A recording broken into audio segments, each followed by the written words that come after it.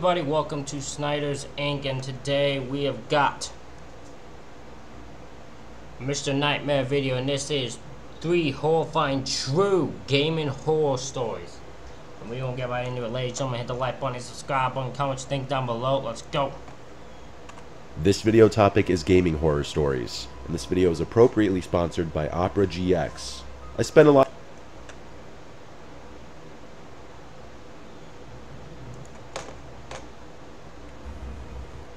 Is Opera GX a computer? I don't know what Opera GX is, but I don't want to listen to that, so I'm ready. Story 1 by James. I live in Chandler, Arizona. This happened when I was like 17 and in my heavy gaming phase, still living with my parents. I played a lot of Call of Duty in my room on my computer in those days, especially in the summertime when it's so unbearably hot outside and I prefer to stay inside in the air conditioning anyway. Back when I lived at home, I'd have the place to myself a lot because my parents travel a lot and I was the last one to move out. If I recall correctly, this was on a Friday night, or a night that school was out the next day because I was staying up late. After I got home from school, I submitted a paper that was due that night to get it over with. Then I had to do some shopping afterwards on my mom's orders since they'd be gone for a while. It was how I earned my keep in the house, according to my dad. They left cash for me to use. I always had to show them the receipt though, so that I wouldn't just pocket any of the money. My mom gave me a shopping list, so I went to Whole Foods in my old Camry, my first car. Shopping took about an hour door to door. While in the grocery store, this guy online behind me started talking to me, and I don't know why. He made a comment about one of the things I was buying and just wouldn't stop. Even as I was bagging my groceries, he kept talking to me, which I found weird. He wasn't paying attention to anyone else. I was still nice though. When it was time to leave, I said have a good one and left. I went out to my car in the parking lot and packed the trunk, then headed home. It was a scorching hot day, as we were in early June. I wasn't looking to go out and do anything outside once I was done with everything I needed to do. It was dark out by now, so I got right on Call of Duty Black Ops on my computer and texted my friend Johnny to get on as well. He joined my party, and we played some team deathmatch as we always did. I was using my noise canceling Logitech headset. We were committed already to playing Call of Duty all night and ranking up so of course I needed to take a break to make dinner at some point.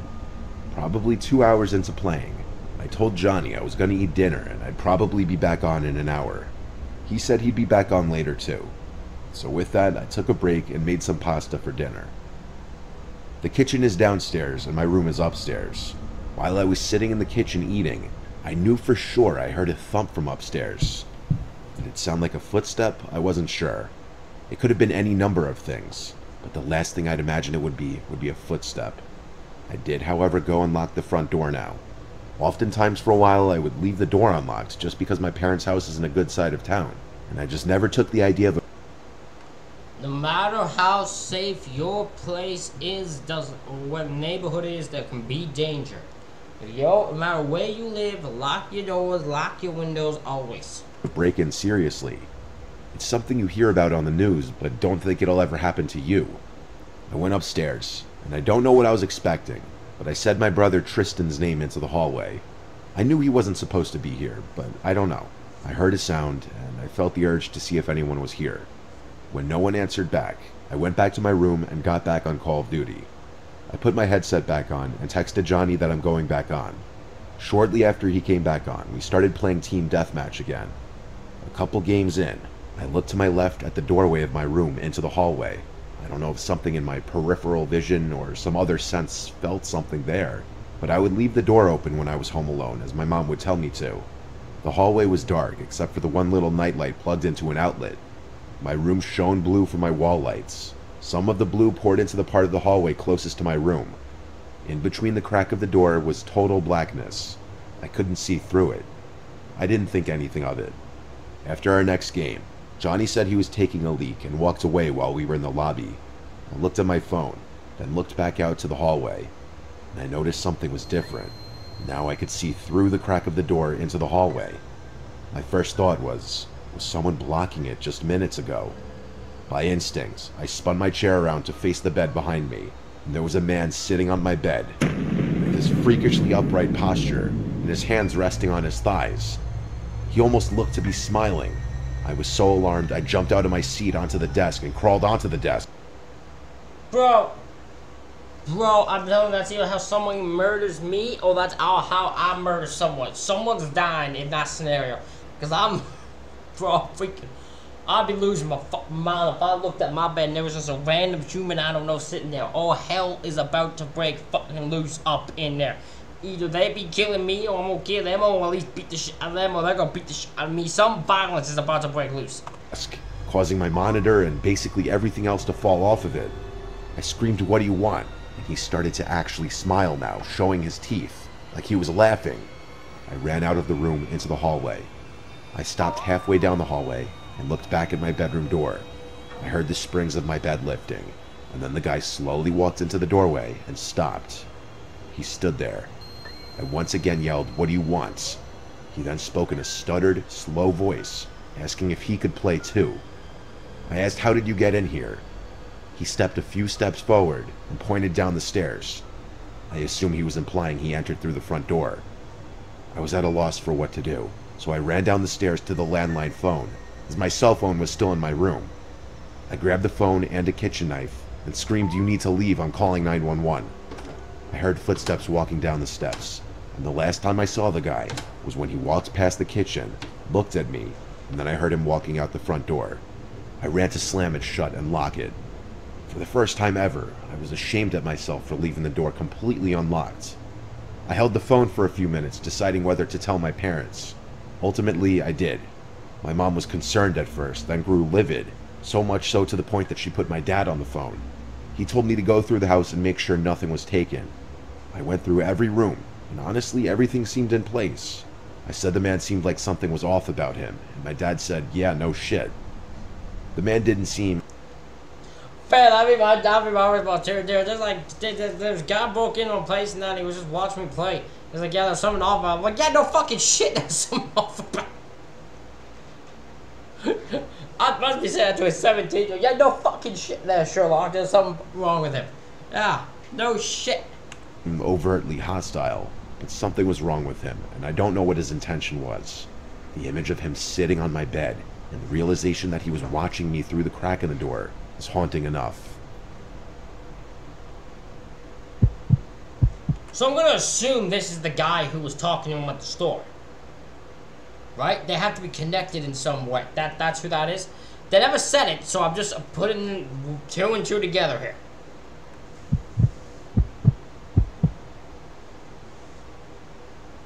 This is a story I'm not proud of, mostly for my naivety.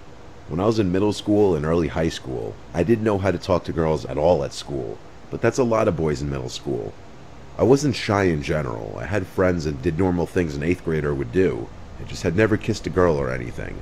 Some of my friends at the time claimed they've already gone further than that with girls, and I was starting to feel pressure. But I was still having trouble approaching girls in that way.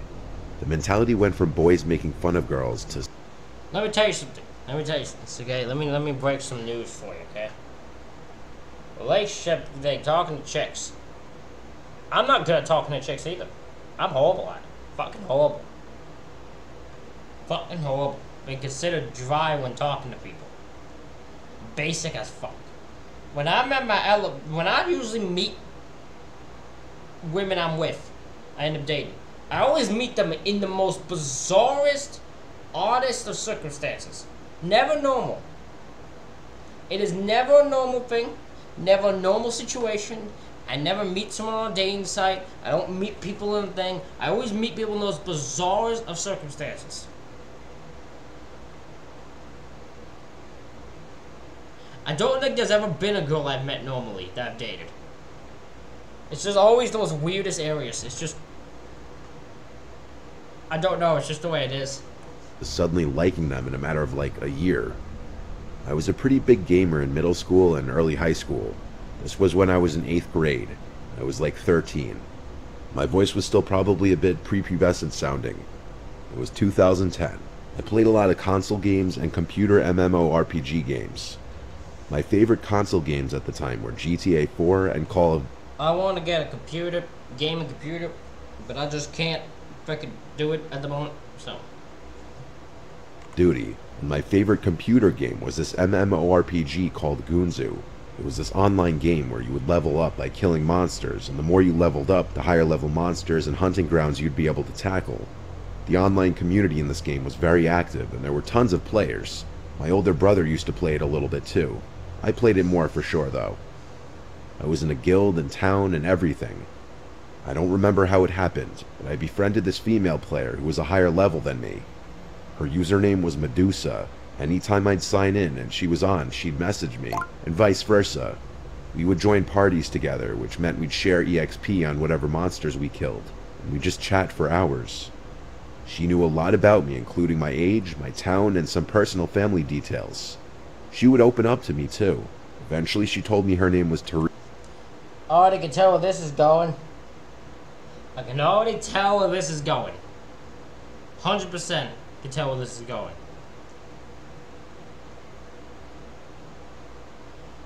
This is a guy pretending to be a female. I'm gonna assume that's usually the most the way these goes. Teresa. It was weird feeling such a connection with a girl who really you knew nothing about her appearance or her voice. It truly was like having a pen pal, but better. It was interesting enough that we both lived in New York State. She lived about an hour from me. After a few weeks, or maybe even a month, we started talking about maybe meeting one day. To do this, though, we'd have to exchange numbers. At the time, I didn't actually have a cell phone yet.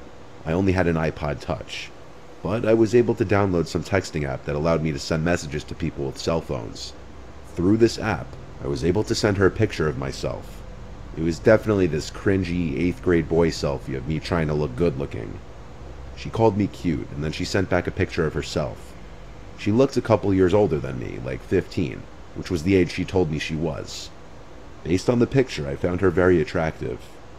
This was around the time our messages became more flirtatious and romantic. But we were both minors, and so of course neither of us could just go drive an hour away. However, she apparently had a solution for this. She told me her sister had friends that lived around me anyway, and she could probably get a ride to me. This was exciting news for my little. There's always some sketchiness to this. You all need to be careful when you meet people, especially when you meet them online. And if they don't talk or they don't speak or anything, always be cautious. 13 year old self.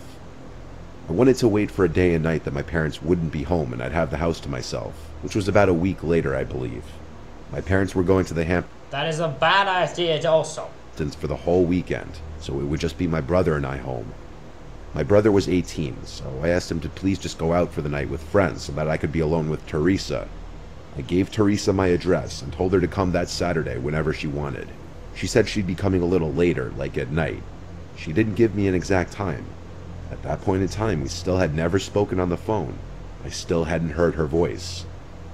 I was so nervous all day that I couldn't even play video games. I was busy cleaning my room, making things look cool, fixing my appearance, even rehearsing things to say in the initial moments of meeting. Then I got a message from Teresa saying she's here.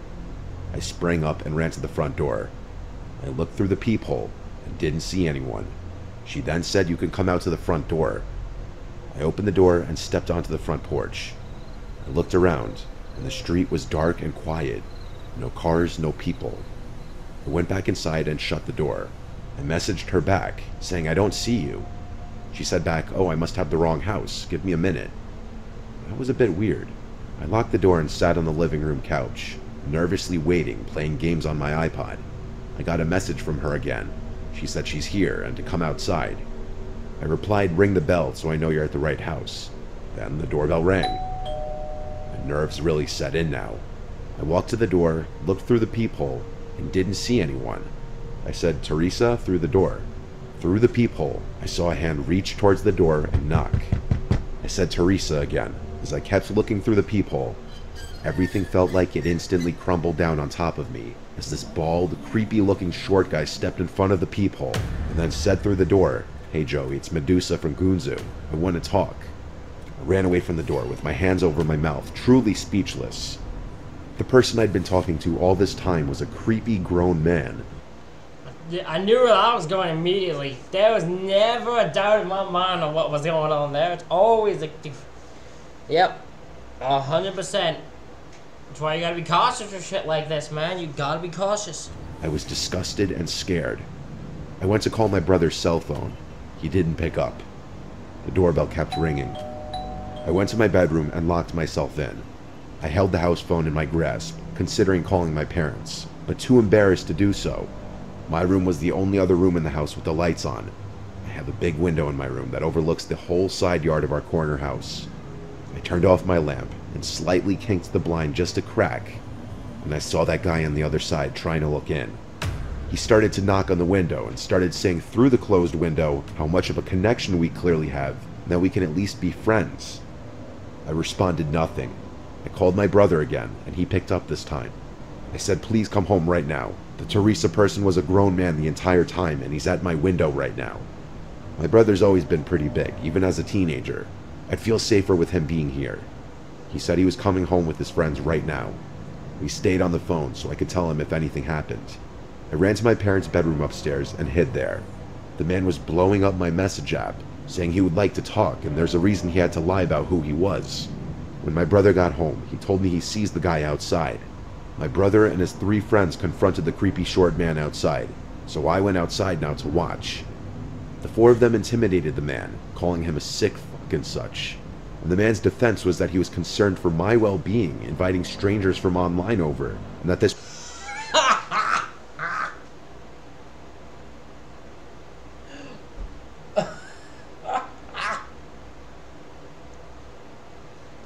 Oh, that is amazing. The guy had the gall to be like, no, no, no, you don't understand. I'm here because I'm concerned for him. Because, see, he's talking to a random stranger online who's pretending to be a woman. He's the one you should be concerned about, not me. This fucking guy has the gall. He has no shame. Guy has no shame. this was supposed to be a learning lesson. I refuted this claim by asking him why he would say that we could be good friends at my window. When my brother and his friends started pushing the man, he started quickly walking to his car.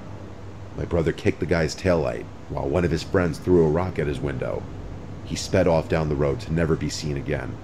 This was humiliating and disturbing, but at the same time, I was really grateful of my brother and his friends to come to my aid. They potentially saved me from a seriously sick creep breaking into the house.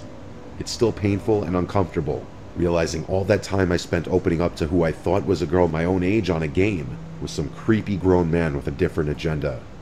Yep.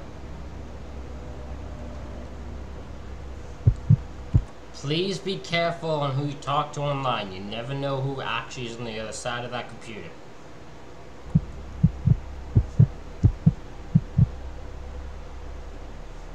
This happened last week. Just a bit of background information. I had just officially quit playing Fortnite. Not that it's important, but this was May 2021, so Fortnite had already had a lot of people quitting the game. My friend Brandon suggested that I download Apex Legends and play with him. I had already had the game downloaded, so I just updated it to the current version. So I logged on, and I remembered how bad I was at this game. I hadn't played since the game came out, so my stats were awful, and I had only the starting legends. My main's Pathfinder and Bloodhound because I just thought that they were the two best starters. Something else to note, I have a very loud gaming headset, so I could barely hear any background noise. But to get to the actual story, it happened when I was home alone. My parents had gone out for their week late anniversary dinner. My brother was at his friend's house. I was playing Apex with Brandon when he suddenly got a text from a random number. He said, Dude, what the fuck? I just got a random message. What does it say? I asked. I remember exactly how it went. He said, Look out the window. Don't look out the window, dude. There's nothing there, I replied. No, he says. Look out your window. What? Why? I said, as I turned my head slightly to the right, then to the left. I didn't know which window to look out of, since this room has five windows. I looked at each of them in a panic, and I found it. The one that was least visible from my couch. There was this man just standing there. I was clueless. I didn't think much of it because the dude was facing away from the window. Little did I know just yet. I put my headphones back on. Brandon just got another text. He told me, Luke, I'm not messing with you. Dude, there's someone outside your window. I know, I told him. I just saw him. He's just looking the other way.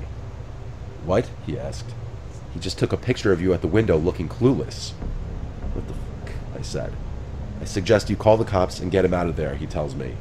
Then, strangely, he stopped talking, and there was that sound of an Xbox notification. He left the party. He never does that without saying bye or that he's going to bed. And I saw he was still in Apex playing in a match. What the fuck? I muttered to myself again. Eventually, I got a party invitation from Brandon and asked what happened. Next thing I know, there was a deeper voice than Brandon's on the mic. I remember in every little detail what it said. Come outside right now, or I will come in. I couldn't recognize the voice at all, but I knew the voice was that of a grown man. I looked back at the window, and sure enough, there he was, banging on the window. He looked completely demented. His face was a dark red, with his hands gushing blood. As he pounded on the window, it started to crack. I picked up my phone, which was right next to me. I was horrified to see it was at 1%, basically out of battery. I kept saying, oh shit, over and over. I put my phone to my ear and mouthed the words, There's a man trying to break into my house. His face is dark red and his hands are bleeding. Next thing I know, he starts screaming while bashing at my window. Then I thought, wait a second. There's screen sheets in front of all of our windows. So how, if he never cut it, was he already at the glass? I took too much time to think. Finally, a shard of glass falls to the ground. A hole large enough for me to shout through opens up. I screamed, Go, the, go away before the cops get here, you son of a bitch. I used too much breath on those words. Another shard falls, then another. I went to get a large knife from the knife block we have in the kitchen, and I returned to where the man was breaking the window. There was already a hole big enough for him to crawl through, and he had already started. I ran back to the kitchen and grabbed the cordless phone, ran upstairs and dialed 911. I told them the exact words that I mouthed on my cell phone earlier, along with the fact that he was now inside my home. Unfortunately, the only doors with locks upstairs are the bathrooms. So, thinking on my feet, I went into my parents' room, into that bathroom, and locked the door. At that moment, was thinking I was being smart because I left the bedroom door wide open, and the bathroom door that's actually inside the bedroom is not visible from the bedroom door. I thought if that guy managed to come upstairs before the cops got here, he would see the door wide open and think I wasn't in here. Suddenly, I heard footsteps coming up the stairs. My heart started pounding harder than ever, and it got harder to breathe. I opened one of the drawers looking for something sharp that I could maybe use as a weapon, and I think he must have heard the drawer, because he came stomping into the bedroom. I heard sirens outside, and I never could have thanked the cops enough for being so fast. He heard it too, and at this point he had nowhere to go. I heard him run outside, but he was too late. The police were out front already. I ran outside to the police as well, and I told them what happened. The man was arrested, handcuffs put around his bloodied wrists. I later figured out that I had killed that guy in Apex and kind of shit talked him just an hour or two before. Somehow he got my address and Brandon's phone number. Some people are just. Wait, what? Hold on. And was arrested, handcuffs put around his bloodied wrists. I later figured out that I had killed that guy in Apex and kind of shit talked him just an hour or two before. This guy did all of it because you killed him in Apex Legends? What? My man, not to mention takes games way too personal. It's like he plays a game and if anyone actually kills him in the game, he kills them in real life. That is fucking insanity. Somehow he got my address and Brandon's phone number. Some people are just fucked up in the head, and apparently they will do unspeakable things for video games. Everyone gets frustrated for getting killed in a game. That uh, that should be a fucking horror movie. That should be some type of horror movie. But really, showing up at a person's house to potentially kill them in real life over a game is really messed up. This guy had to be mental. A few police cars stayed at my house overnight after the others had taken the man away. The man was convicted for aggravated burglary.